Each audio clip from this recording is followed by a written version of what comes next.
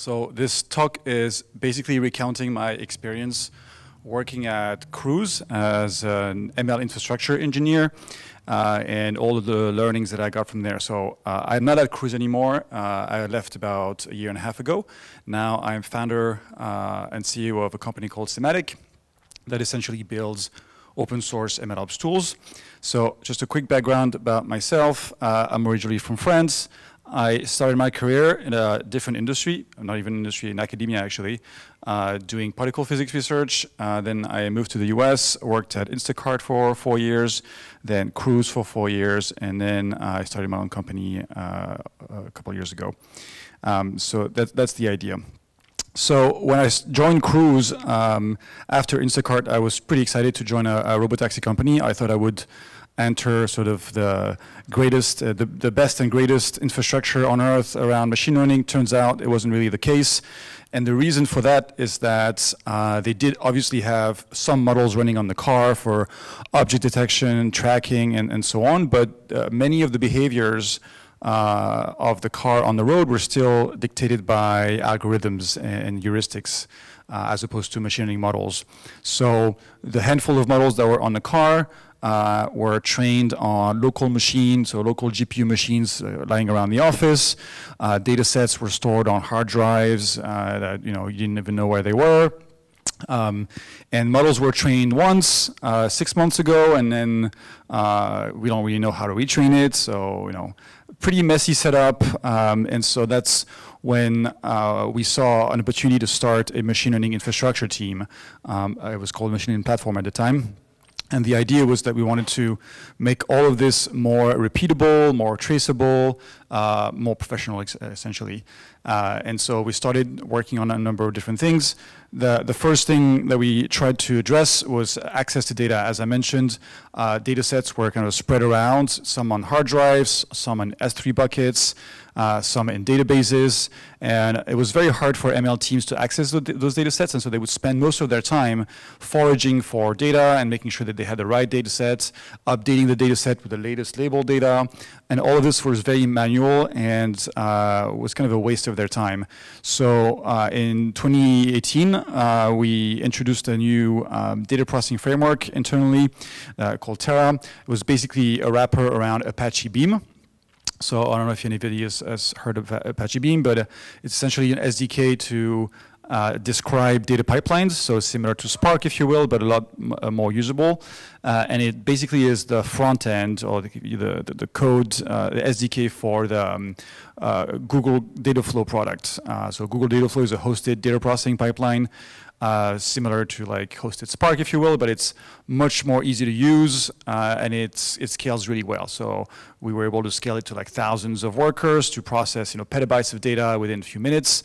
Uh, so that was very practical. And so we built uh, this library to Terra to make sure that everybody was reusing the same components. So if somebody had to do a particular operation, for example, uh, uh, rotating images or cropping images or, or any sort of like group by certain dimensions like segment, time, or anything like that, or VIN numbers, then everybody was using the same logic.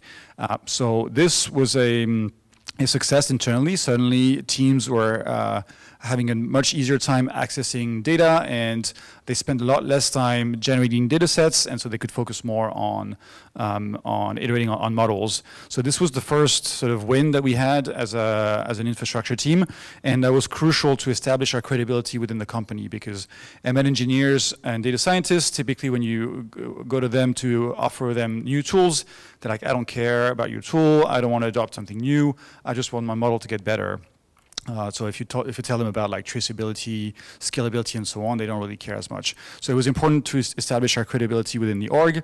And then the next uh, challenge we tried to tackle is to enable automation. So Cruise had this pretty ambitious vision at the time uh, that they would you know, collect all this data on the road, all the sensors collecting data all the time, and then when the cars come back to the warehouse, uh, the, the hard drives get offloaded into an ingestion bay, and then uh, you do some data mining to figure out what are the sequences, what are the, the timestamps, the scenes that were problematic, uh, so, so that you can label them and then add them to your uh, training data set, and then the model can you know, train in a more sort of um, tail end of the distributions. And so they wanted to do this very automatically so that you know every two, three weeks you would have a new model uh, coming out and being shipped to the cars. Uh, and obviously this requires a lot of automation because this entire process is very, very manual. And so uh, we had to figure out how to enable this. And again, in a way that is sufficiently easy for uh, a workforce of like hundreds of ML engineers to use by themselves without having to offload uh, projects to infrastructure teams.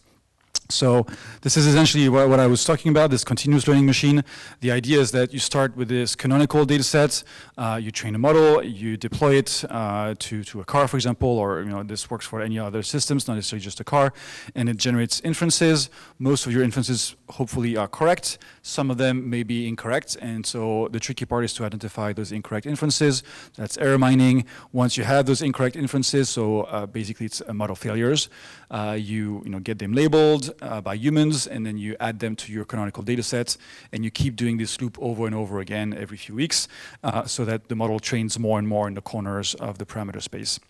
So we had to build infrastructure that would uh, make this as automated as possible. You still obviously need some humans in, in the loop there, uh, you know, for to, to, screen models before they, they come out, uh, like review metrics. You'll also need labelers, but uh, everything else should be ideally automated.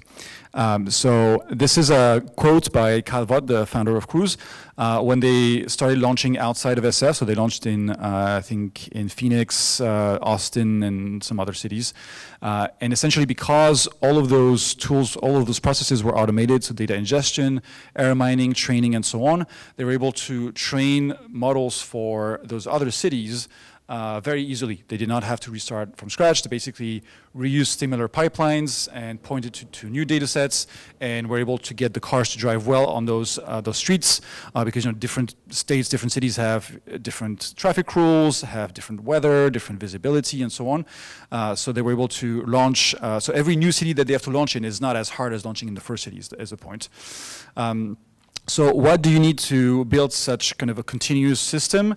Uh, so first, you obviously need to track your inferences. You need to persist every time you make a prediction, whether you have an online system that does recommendation, for example, or any type of machine learning system. You need to persist those inferences alongside some metadata. So, you know, whatever your users are doing at the time, where you are, what are the circumstances of the inference, what are the features, obviously, of the inference, and so on. Uh, now, once you have that, so you have a set of features and inferences, you need to find a way to identify uh, inferences that are problematic. Obviously, you don't have access to ground truth because uh, this is you know real production machine learning. So you need to find other ways to identify um, uh, failures. So it could be uh, user behavior. For example, if you're doing a, a recommendation system or a search uh, um, system, uh, if your user don't click on any of your recommendations, obviously something's wrong.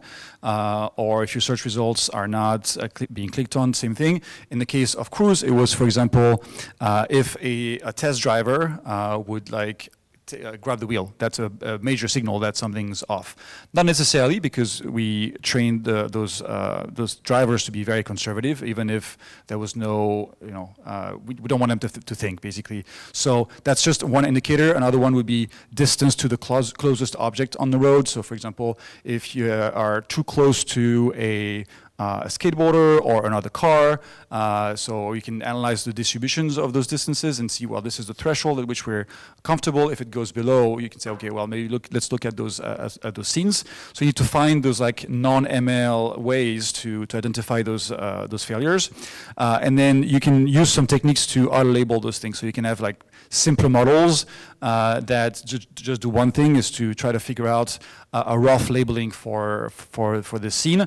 And this rough labeling will help a human labeling service. So for example, if you ask uh, a, a, human workforce to label objects, they may, they may, take, I don't know, maybe a minute per, uh, per image to, to draw bounding boxes. If the bounding boxes are already drawn by a rough model and they only have to adjust them or validate them, it's much faster and much cheaper. So uh, you, you need to, to, set that up. Uh, and then once the data has been labeled, you need to have an automated ingestion pipeline for this labeled data and pass it to your uh, data processing pipeline to convert the data into a, uh, a feature data set so that you can start your training pipelines as well. So all of this needs to be automated, obviously. Um, and then once the model has been trained, evaluation, simulation, and so on, it's also to be automated so that the uh, next thing that humans need to do is to look at uh, metrics and results and decide whether or not a model is, is fit for for, deployment. Uh, so essentially what I just described is end-to-end -end automation. So from the moment the data leaves the car to the moment it's being sent to the human labeling workforce to the moment it comes back and then the model is, is trained and shipped, all of this needs to be automated without any human intervention. So that takes obviously a lot of infrastructure to, to do this.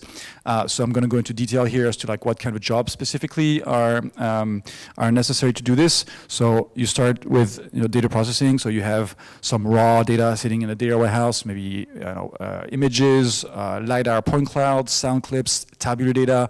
You have metadata about the different drives that the cars have been done and so on. Um, so data processing is your first step. Uh, then obviously training evaluation using PyTorch typically. Um, so this is pretty straightforward. Um, I mean, not the jobs, but this, the, the sequence of steps is pretty straightforward. After that, what's really important is regression test and simulation. So regression test essentially is every time something happens on the road, uh, very much like test-driven development. You know, every time you have a bug, you add the bug to your test suite, then you, you write a bug fix, make sure the test pass, and then you keep this test in your test suite forever to make sure that every time you ship changes, there's no regression in your code base. Uh, so it's very similar here. Every time there's a scene happening on the road that uh, was suboptimal, uh, you add it to your test suite, then you iterate on the model to make sure that uh, uh, in a simulation, in a simulated environment, this um, sort of uncomfortable scene is being resolved. So for example, there was too close a proximity with another um, sort of uh, object on the road, then you make sure in a simulated environment that this does not, does not, does not happen again. And so you keep all those segments of, um, of, of, driving in your test suite that grows over time, thousands and thousands of scenes that you have to rerun every time uh, your, your model goes through, through this process. Uh, and simulation as well, as I mentioned, uh, we would have to simulate Uh, the outcome, you know, based on a real scene. What is the outcome with the updated model? Uh, and this is done in a simulation framework that essentially uses, you know, game engines to simulate, you know, uh, real scenes of, of, San Francisco with different lightings, different uh, time of day, different places in the city, and, and so on. Uh, after that, you have a number of steps to uh, optimize your model so that it can run on the on the car. As you can imagine, the hardware that's available on the car is not as powerful as the ones that you can have in uh, in the clouds. For example, it has constrained latency, has to be extremely fast uh, because of the uh, response times that need to be to happen in the car. Um, and uh, also the power consumption uh, is, is, limited. So there's a number of techniques to you know prune your models to make it lighter, to make or quantize it, for example, to make it um, to make it work. And also you have to make sure that it works with a particular GPU that's there on the car. So you have those steps also have to be automated. Um, and then metrics review, that's typically the point where a human is going to look at a dashboard and look at all those test results and see whether or not the model uh, first does not regress on any of the prior scenes, but also improves the metrics that you're uh, that you're looking at. Uh, and eventually, you want to merge your model into your uh, into your code base and then deploy it to the car. Uh, so once that's done, uh, you you know the car drives around and then comes back uh, at the end of the day, and that's when you ingest the the sensor data and you do error mining. Uh, then you do, do auto labeling, and you send it to labeling workforce. Uh, the labeling workforce is going to label data, obviously, and then return it to you, and then this that you close the loop. So this requires you know many different systems and backends. You know, a data processing cluster is not the same as a training cluster. Uh, the simulation framework runs on a different type of um, of backend as well. So all those things need to be orchestrated.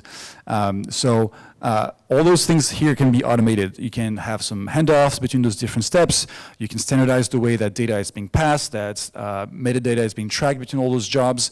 Uh, those other aspects, though, obviously require human intervention. So you always need to have uh, a scientist look at the, the metrics uh, or some human look at the metrics before you decide uh, to, to, ship it out. And same thing on the other side, you also need to have humans labeling your, um, your content. Um, but everything else can be as automated as possible possible. So things that you need to automate this, uh, one thing that we uh, we built in is something we call lineage tracking. Um, the idea is that it's a complete, a complete knowledge graph of all the assets that went into your your uh, your pipeline. So this is an example. Uh, in orange here, you can see different jobs, so data processing, model training, and so on. You need to track everything that goes with it. So the configuration of your training job, the raw data that was used, so you know to be able to exactly reproduce the same results. So uh, exactly the, uh, the, the rows in your tables that are being used and so on. Um, who is the owner of the code that is running, the, the code that is running itself, the logs of this of this job. All of this needs to be persisted and linked back to the the final outcome. So the final outcome in this case would be a trained model that is ready to go out to the car. It's important that you have a database somewhere where this model idea ID is is linked to all those other assets so that you can easily debug all the way back up to the, the raw data. Uh, if something happens on the road, you should be able to go back in your, days, in your database and be like, okay, this is the job that trained the model, this is the input data set, this is the configuration we used, these are the resource, the cloud resources we used, like what type of GPUs and so on. So this is important for a number of reasons. Uh, traceability, obviously, you know, you want to know what you did so that you can uh, reproduce it and, and debug it. Uh, but an even more important aspect is compliance because especially in a, a safety critical uh, product like, like Cruise, and you know it was in the news recently, uh, as, as, you may have heard, uh, law enforcement is entitled to ask, do you have full custody of your assets? Can you reproduce these results? Can you prove uh, that there was no nefarious influence on the model? And so if you don't have a database that links back your final product, so your, your model and your inferences, all the way to all the individual pieces of data configuration code that were used to produce this outcome, you may be in trouble. So uh, it may be less important if, if your product is not safety critical, but in general, I think it's a, it's good practice to have this exhaustive lineage tracking. Um, so another aspect that's pretty important is fault tolerance. As you can imagine, those long automated pipelines, they can run for multiple days. Uh, sometimes even just the training part can last seven days. Uh, we've had jobs um, uh, running that long. And so it's pretty common to have failures in cloud environments. Uh, you know, it could be uh, database failures, could be timeouts, could be, you know, external services are down, uh, any, or your Kubernetes nodes are being preempted for whatever reason. And so if you don't have a way to recover automatically from those failures, then most of your jobs are going to fail. You're going to waste a lot of compute power. You're going to waste a lot of human power.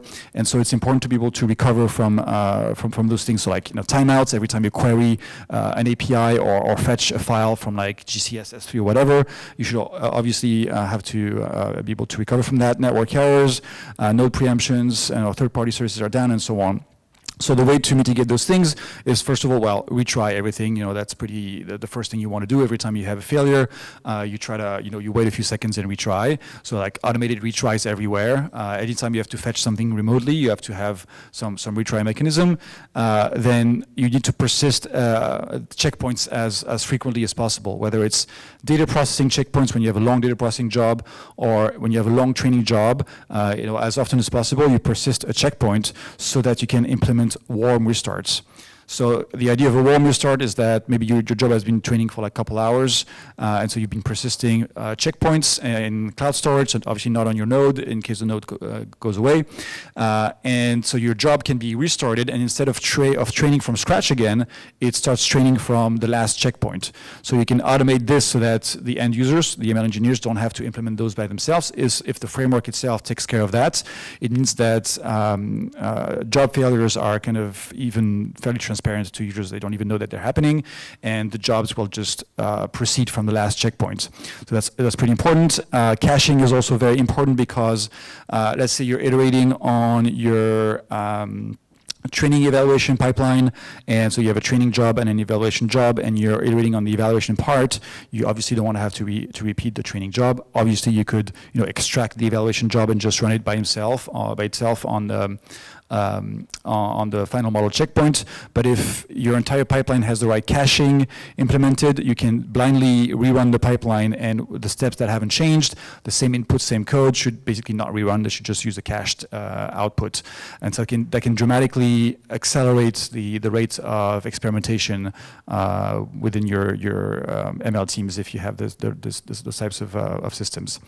Um, and then finally, once all the failures that were not be able to be automatically caught or retried are, are self-healed, uh, you need to obviously log them, track them, what is the, the root cause of the, of the failure, and then sort them by the most impactful, the most expensive, or whatever metric it is that you were trying to minimize, and then address them one by one, obviously. And so build um, fault tolerance around those particular um, issues. Uh, so the next thing that is important for those automations to work is observability. Um, so if you don't have logs of your jobs or if, if your logs are not being persisted, then you don't know what the failures are. Uh, so persisting logs uh, in a way that can be you know, browsed through easily by your ML teams is important. Failures, exceptions, for example, Python exceptions, if it happens at the you know 200 pages log, uh, it's very hard for somebody to debug that. So if you can automatically extract your Python exception, store them in the DB or somewhere else, and then show them in, a, in, a, in the UI, uh, then it means that your the ML engineers can quickly see what the failure is and fix it as opposed to spending half a day uh, scrolling through logs. Um, infrastructure failures, obviously, you also need to have uh, visibility into that. Uh, so that means having some observability at the infrastructure level. Uh, you know, resource usage, for example, like GPU utilization is important because GPUs cost a lot of money, and so you and, and also jobs are, are slower if you don't utilize the the entire GPU. So uh, you want to make sure you track those things so that you can um, investigate the the cause of the uh, of low utilization and, and optimize that. So all those things have to be tracked and, and available for, for review. Then another aspect that we try to optimize is for iterative de development. Uh, so the idea of, of uh, iterative development is that somebody should be able to make changes on their local machine. So whether they develop on their laptop or on a dev box. So make changes to logic, training code, hyperparameters, input data, whatever it is that they are trying to iterate on, uh, run it on their local machine on a small amount of data to validate that uh, the code is correct, that there's no major failures, and then very easily scale this job out to a cloud cluster without having to go through a lengthy deployment process of like, you know, uh, getting a PR reviewed, merging the PR, getting through a CI/CD pipeline to produce, uh, you know, um, container assets and then deploying it to a cluster. All of this takes way too much time. Ideally, the user makes a, a code change on a laptop, then they, they call a, a, submission command line, and that packages their local environments, so their, their local code, their local dependencies, their libraries and ships it to the cluster right away without having to go through, uh, of course, for, for production pipelines, you need to go through you know, code review and PR and, and so on. But as you're iterating you need to be able to quickly just launch a job from your laptop. Um, so that's uh, actually not trivial because you know packaging local code can take a while, and uh, there's many uh, different aspects that need to be taken into account. Especially at Cruise, uh, the the code that runs on the car is C++, and sometimes we would uh, use PyBind to expose C++ code to Python pipelines, which means that if you make a change on the C++ side at, at runtime when the user submits the, jo the job, you need to compile and build the C++ library, link them, and then expose them to PyBind for the Python code. So all of this needs to happen at runtime whenever the, users, the user submits uh, their, their pipeline. So back at Cruise, we used to use Bazel. Maybe some of you have heard of Bazel. It's a build system coming out of, of Google. I think it was called Blaze when it was at, at Google. And the idea is that every library, every piece of code is represented by a build target. And so you can use Bazel to automate this entire process that automatically detects detects the changes that you have on your local machine, will rebuild and recompile those things and build the corresponding Docker image and then push it to remote registry and start the job.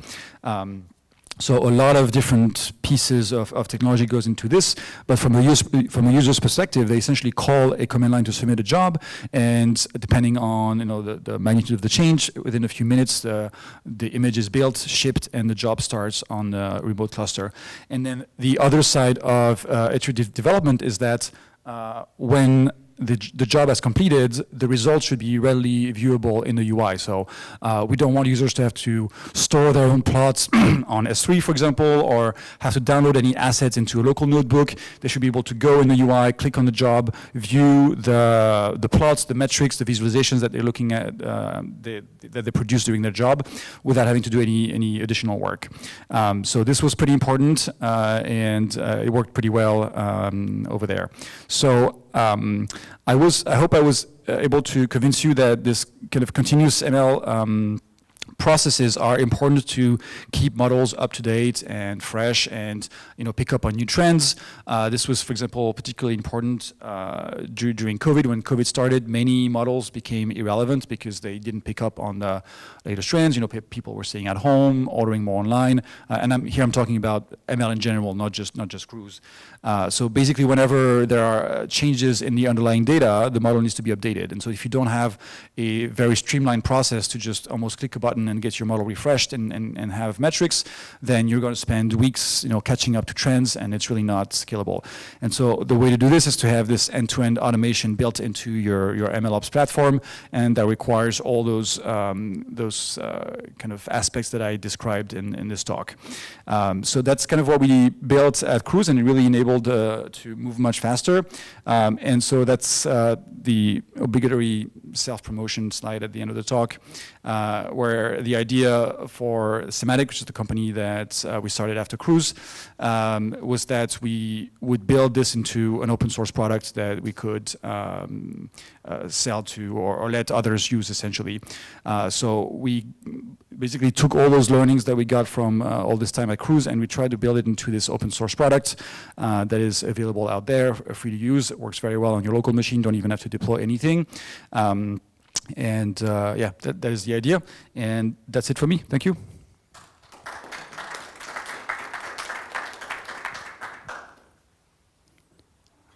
If there's any questions, I'm happy to answer them.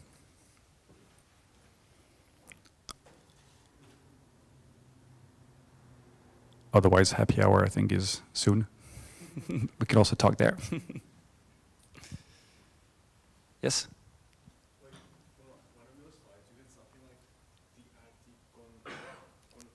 TRT conversion. Um, so um, I think there was um, a NVIDIA um, uh, library to compress models and uh, to make models smaller and hold uh, in memory uh, better. I think they actually just released a version for LLM. I think it's called TRT LLM or LLM TRT. I think it's a combination of pruning, quantization, or different optimization techniques that are wrapped into a library so that uh, models can run on smaller devices. It's especially important for LLMs because they're so huge um, that, um, yeah.